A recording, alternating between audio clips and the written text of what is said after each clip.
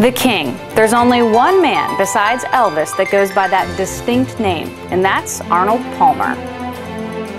The North Course here at Myrtle Beach National is one of Mr. Palmer's best designs. This course will have you taking shots that you never would have thought of taking on a golf course.